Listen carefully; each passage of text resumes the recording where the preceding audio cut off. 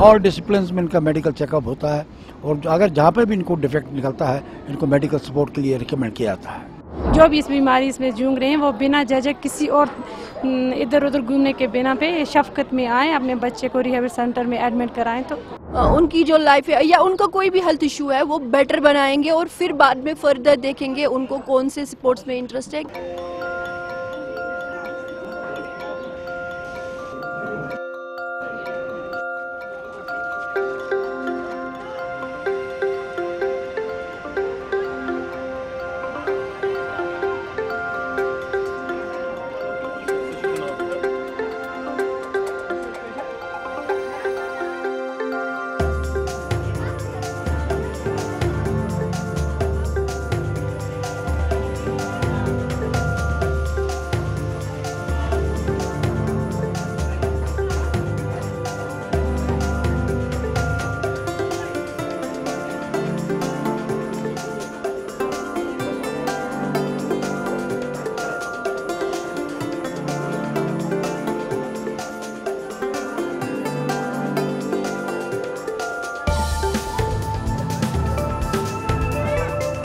जो फ़ंक्शन जो हमने ऑर्गेनाइज किया है इसके लिए हमारे को कुछ काफ़ी दिनों से इसके लिए हमें डिमांड थी। तो हम भी कोई मौका ढूंढ रहे थे जैसे हमारे पास अपॉर्चुनिटी आई है हम यहाँ पर आए हैं और मेडिकल फेस्टिवल यहाँ पर किया है। सर क्या क्या इसमें फैसिलिटीज़ सारी फैसिलिटीज़ हैं सारे डिसिप्लिन में बच्चे चेकअप कराया जाएगा उनको। उनकी हिस्ट्री चार्ट बनाई जाएगी मेडिकल हिस्ट्री जो हम रिकॉर्ड अपने पर रखते हैं। इसको हम अमेरिका भी भेजते हैं अपना हेडक्वार्टर में। वहाँ पर भी इसको मॉनिटर किया जाता है। वहाँ से रेगुलर रिमाइंडर आते हैं हमको कि क्या क्या फैसिलिटीज़ द्वारा प्रोवाइड की गई हैं। मेडिकल एग्जामिनेशन के बाद जो बच्चों को खा, खामियाँ निकलती हैं उनको मेडिकल ट्रीटमेंट के लिए हम रिकमेंड करते हैं। और मेडिकल ट्रीटमेंट प्रोवाइड भी करते हैं।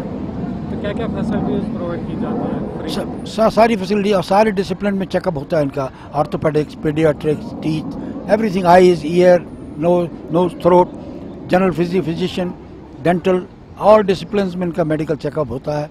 और अगर जहाँ पर भी इनको डिफेक्ट निकलता है इनको मेडिकल सपोर्ट के लिए रिकमेंड किया जाता है। तो सारी सुविधाएँ फ्री में आप देते हैं? सब सुविधाएँ हम फ्री में देते हैं। हमारे को जैसे मैंने बताया जनरल जनरल इंश्योरेंस वालों ने हमारे को फाइनेंशियल थोड़ी सपोर्ट दी है जिससे कि हमारे को अपॉर्चुनिटी मिली है इस मेडिकल फेस्टिवल को ऑर्गेनाइज करने की। मेरा बच्चा आई सी चाइल्ड है और वो डिसेबिलिटी है इसलिए मैं बहुत जगह बहुत सारी जगहों पे गई इसको लेके प्राइवेट में भी गई लेकिन जो यहाँ पे फैसिलिटी मिली वो किसी जगह पे नहीं मिली। यहाँ सार सब सपोर्ट ही हैं बच्चे को केयर अच्छी तरह की मिलती है और बहुत सारी इम्प्रूवमेंट भी आई हुई है इसको। है हाँ। बहुत अच्छी तरह चेकअप हुआ और हर बॉडी के हर पार्ट्स का डॉक्टर अलग अलग बैठे हुए हैं उन्होंने अलग अलग इसके जो जो जिसको नीड है वो सबको ज़रूरत महसूस हुई। तो कितना फ़ायदा मिलता है बहुत ज़्यादा। मैं बोलूँगी जो भी इस बीमारी से या ऐस- जिसके घर में भी ऐसा बच्चा है जो भी इस बीमारी में जूझ रहे हैं वो बिना झिझक किसी और इधर उधर घूमने के बिना पे शफकत में आए अपने बच्चे को रिहेबिल सेंटर में एडमिट कराएँ। वी एम एस बहुत वॉल्ट्री मेडिकेयर सोसाइटी इसका नाम है। बहुत सारे जो डिसेबिलिटी है उनके लिए काम करते हैं अंडर वन रूफ तो इसके सब सेंटर्स भी है, बारामूला, कुपवारा, लेह, लद्दाख में भी है। तो हमारा आज इवेंट चल रहा है। हम स्पेशल भारत से कोलाब्रेशन करके बच्चों की जो स्क्रीनिंग हो रही है डिफरेंट स्पेशलिस्ट आए हैं जो चेकअप कर रहे हैं। और अगर किसी बच्चे में कोई प्रॉब्लम होगा, कुछ होगा, जो स्पेशल बच्चे हैं, जिनको कोई डिसेबिलिटी होती है बाय बर्थ आर या कुछ एक्सीडेंट से हुआ होता है तो आज यहाँ पे वही स्क्रीनिंग हो रही है इनकी। और इसमें से भी बहुत सारे बच्चे दूर दूर से आए, यहाँ पे भी दूर दूर के डिस्ट्रिक्ट से आए हैं। आप देख रहे हो कितना कितना हौश पौश कितना रश है यहाँ पे।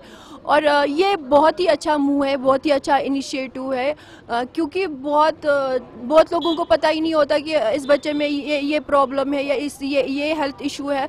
तो ऐसे डायग्नोज होता है, फिर इनको रेफ़र करते हैं, जहाँ जिस बच्चे को जो ज़रूरत होगी, जो फर्दर उसके वेलबींग के लिए ज़रूरत होगी, वहाँ पर रेफ़र कर लेते हैं। और यहाँ पर भी जितने भी एक्सपर्ट्स आ रहे हैं, वो भी उनको ट्रीट कर रहे हैं कि उनको क्योर करने के लिए या उनकी लाइफ बेटर बनाने के लिए क्या करना चाहिए। कितना बेनिफिट मिलता है ऑफकोर्स बहुत ज़्यादा मिलता। आपको तो पता ही है कि जो ये डिसेबिलिटी एरिया है इसमें बहुत कम लोग काम करते हैं but I am really thankful to doctor Mir Mohammad Maqbool जिन्होंने ये इन इंस्टीट्यूट बनाया है। uh, मैं खुद भी एक ऐसा ही केस हुआ एज अ पेशेंट आई थी यहाँ पे बाकी आप सब मुझे जानते हो लेकिन आज भी बहुत सारे बच्चे हैं जो जो ये स्पेशल भारत ओलंपिक्स है। uh, ये भी स्पोर्ट्स uh, के लिए भी काम करते हैं तो इसमें बहुत सारे बच्चे ऐसे भी हैं जो आगे जाके स्पोर्ट्स में जाना चाहते हैं, नाम कम आज उनका ऐसे चेकअप हो रहा है कि अगर उनको उनकी जो लाइफ है, या उनका कोई भी हेल्थ इशू है, वो बेटर बनाएँगे और फिर बाद में फर्दर देखेंगे उनको कौन से स्पोर्ट्स में इंटरेस्ट है।